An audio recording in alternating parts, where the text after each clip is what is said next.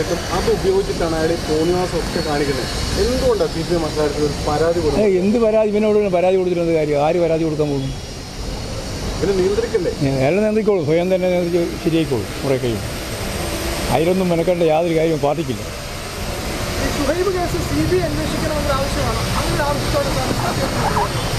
എന്തിനാ ഞാൻ പ്രതികരിക്കുന്നതെന്ന്? ഓരോരുത്തരും ഓരോ രീതിയിൽ പറഞ്ഞുകൊണ്ടിരിക്കുന്നു. പറഞ്ഞുകൊണ്ടിരിക്കുന്നതിനോടെല്ലാം പ്രതികരിക്കേണ്ട പരിപാടിയാണ് ഞങ്ങൾക്ക് അവർ എന്ത് അതൊക്കെ ഞാൻ പറഞ്ഞില്ല രാഷ്ട്രീയമാണെന്ന് ആ രാഷ്ട്രീയ നിലപാടാണ് അവരെടുത്തുകൊണ്ടിരിക്കുന്നത് ഓരോ പ്രാവശ്യം വരുമ്പോൾ ഓരോന്നും വെച്ചിട്ട് പ്രതിപക്ഷം പറയും ഇങ്ങനെ അങ്ങനെ വേണം ഇങ്ങനെ വേണം അത് ഞങ്ങളോടൊന്ന് പ്രതികരിക്കാം ഞങ്ങളെന്ത് പ്രതികരിക്കാം നമുക്കൊന്നും പ്രതികരിക്കാനില്ല. സർക്കാർ സുപ്രീം കോടതിയിൽ അന്വേഷണത്തിനെതിരെ നീങ്ങിയിട്ടുണ്ടല്ലോ. പ്രധാനമായിട്ടും ആകാശ് അല്ലെങ്കിൽ അടക്കമുള്ള ഒരു പ്രതികളായ ഒരു കേസിലാണ് സർക്കാർ സി ബി ഐ അന്വേഷണം വേണ്ട എന്ന് സുപ്രീം കോടതിയിൽ പറയുന്നത്. സി ബി അന്വേഷണം വേണമെന്ന് ഞങ്ങൾ ഒരിക്കലും പറഞ്ഞിട്ടില്ല. ഇനി അത്യാവശ്യം വേണമെങ്കിൽ വരുന്നതിന് ഞങ്ങൾ എതിരുവല്ലായിരുന്നു മുമ്പ്. ഇപ്പോൾ സി ബി ഐ എന്ന് പറയുന്നത് കൂട്ടിലടച്ച തത്തയാണ് എന്ന് അന്ന് പറഞ്ഞത് കുറേയും കൂടി അന്വർത്ഥമാകുകയാണ്. അതുകൊണ്ട് സി ബി ഐ അന്വേഷണമാണ് എല്ലാറ്റിന്റെയും അവസാന വാക്ക് എന്ന് പറയുന്നതൊന്നും ഞങ്ങൾ വിശ്വസിക്കുന്നില്ല. അന്നുമില്ല ഇന്നുമില്ല നാളെയുമില്ല അങ്ങനെയാണ്. ശരി. എന്നിട്ടും അത് ഉപയോഗിച്ചിട്ടാണ് അയാൾ ഈ തോന്നിവാസം ഒക്കെ കാണിക്കുന്നത് എന്തുകൊണ്ടാണ് സി പി എം അക്കാര്യത്തിൽ ഒരു പരാതി കൊടുക്കുന്നത്? എന്ത് പരാതി? ഇവനോട് പരാതി കൊടുത്തിരുന്നത് കാര്യം? ആര് പരാതി കൊടുക്കാൻ പോകുന്നു? അയാൾ നിയന്ത്രിക്കോളൂ. സ്വയം തന്നെ നിയന്ത്രിച്ച് ശരിയായിക്കോളൂ. കുറേ കഴിയും. അതിലൊന്നും മെനക്കേണ്ട യാതൊരു കാര്യവും പാർട്ടിക്കില്ല.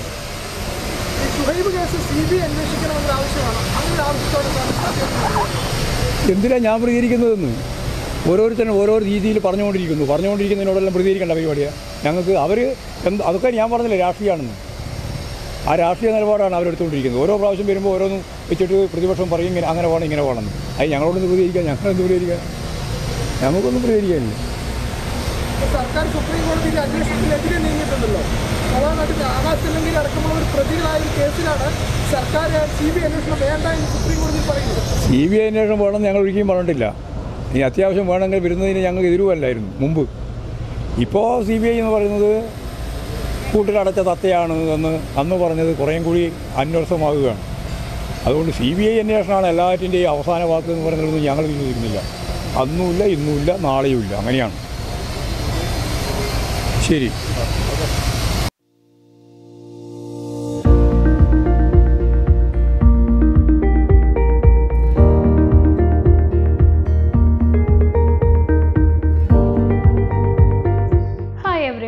പലപ്പോഴും ഏവിയേഷൻ കോഴ്സ് ചൂസ് ചെയ്യുന്ന കുട്ടികളുടെ ഒരു സംശയം എന്താണെന്ന് വെച്ചാൽ ഫീസ് എത്രയാണ്? അല്ലെങ്കിൽ ഫീസ് അറിയണം എന്നുള്ളതാണ്. ഈ ഫീസ് അറിയുന്നതിന് മുമ്പായിട്ട് ഏവിയേഷൻ ഇൻഡസ്ട്രി എന്താണെന്നോ അല്ലെങ്കിൽ ആ കോഴ്സ് എന്താണെന്നോ നമ്മൾ മനസ്സിലാക്കിയിരിക്കണം. പലപ്പോഴും പല സ്ഥാപനങ്ങൾ അതായത് ഏവിയേഷൻ ഹാൻഡിൽ ചെയ്യുന്ന പല സ്ഥാപനങ്ങളും ഏവിയേഷനെ ഒരു അഡീഷണൽ കോഴ്സായിട്ടാണ് കണ്ടക്ട് ചെയ്യുന്നത്.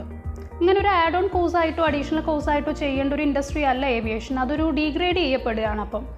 ഇപ്പോൾ ഒരു കുട്ടിയുടെ interpersonal skill soft skill training അതേപോലെ തന്നെ attires grooming industrial visit industry knowledge അവരുടെ ട്രെയിനിങ് ഇതൊക്കെ ഫോക്കസ് ചെയ്തിട്ട് പഠിപ്പിക്കുന്ന ഇൻഡസ്ട്രീസിനെ വേണം നമ്മളൊരു കോഴ്സ് ചൂസ് ചെയ്യാൻ വേണ്ടിയിട്ട് കൺസിഡർ ചെയ്യാനായിട്ട്. ഇപ്പോൾ ആവനിയർ കൊടുക്കുന്ന ഒരു ഡിപ്ലോമ പ്രോഗ്രാം അല്ലെങ്കിൽ ഒരു കോഴ്സ് എന്ന് പറയുന്നത് ഒരു കംപ്ലീറ്റ് പാക്കേജ് ഏവിയേഷൻ കോഴ്സുകളാണ് ഇനി അതുപോലെ തന്നെ രണ്ടാമത്തെ ഒരു ക്വസ്റ്റ്യൻ ആണ് ആർക്കൊക്കെയാണ് ഈ ഒരു ഇൻഡസ്ട്രിയിലേക്ക് വരാൻ പറ്റുന്നത്? പ്ലസ് ടു കഴിഞ്ഞ ഏത് കുട്ടികൾക്കും വരാം. ഇപ്പോൾ പ്ലസ് ടു ഓൺ ഗോയിങ് ആണെങ്കിലും ആ കുട്ടിക്ക് ജോയിൻ ചെയ്യാം. ഏത് സ്ട്രീം വേണമെങ്കിലും ചൂസ് ചെയ്യാം. ഇന്ന സ്ട്രീം അങ്ങനത്തെ ഒരു പ്രത്യേകതകളൊന്നുമില്ല. അതേപോലെ തന്നെ മാർക്കിന്റെ പേഴ്സന്റേജ് അതൊരു പ്രിഫേർഡ് ആയിട്ടുള്ളൊരു കാര്യമല്ല.